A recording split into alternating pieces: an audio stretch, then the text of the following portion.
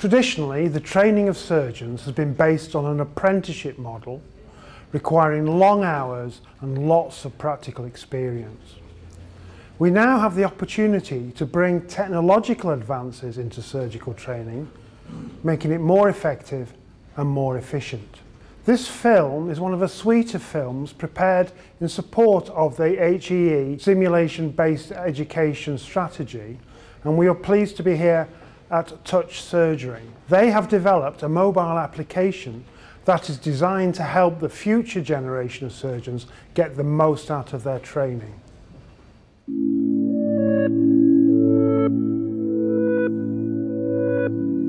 Touch Surgery is essentially a mobile-based application what it allows users to do, whether they are surgeons, surgical trainees, uh, scrub techs and nurses and other healthcare practitioners, the ability to go through an operation step by step in an interactive, virtual way on their mobile phones. So you've got things like emergency medicine, uh, neurosurgery, orthopedics, obs and gynae, so lots of different modalities. You can do things like move your cursor over where you want, for example, the scalpel to cut. Um, they can learn and they can also test themselves. If you're doing the test, for example, you see what you get right and wrong, it will go back and do a little clip um, using the simulation so that you can see where you've gone wrong. So if you've cut in the wrong angle or you've um, put the needle in the wrong place, it will show you. That scoring system has been academically validated, so it can distinguish between an expert and a novice. We essentially work with lots of um, different surgeons who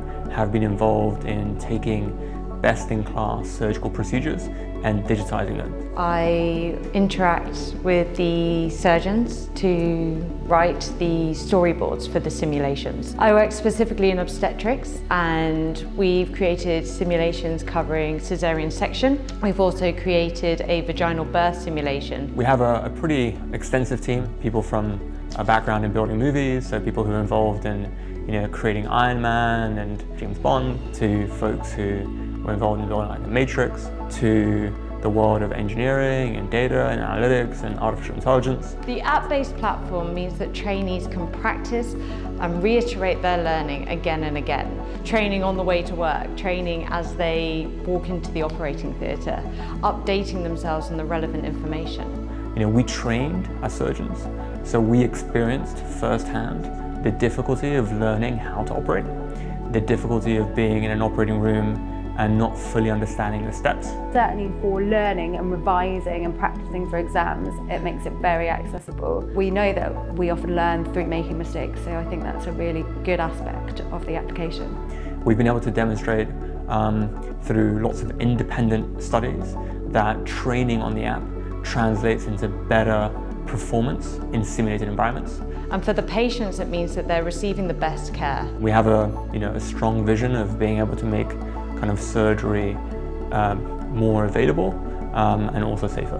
For me, it's so important when you're a clinician to make sure the care that you're providing is standardized, that you're providing the best care that's available for your patients. When you have doctors who are rotating, they're going to different hospitals, different settings, we lose time and uptake of those skills because they're going to have to repeat their training again and again in different environments to show that they're competent. You can show and train on a standardized level, so it means that we're taking out that loss of resource. And I think we have a big disparity depending where you train, what's available to you and the resources. Using a digital platform it means that our simulations are quickly scalable. We can reach people all around the world with information that is standardized, evidence-based. Our teams have been going out on global surgery missions to deliver the tool to um, Tanzania and Cambodia.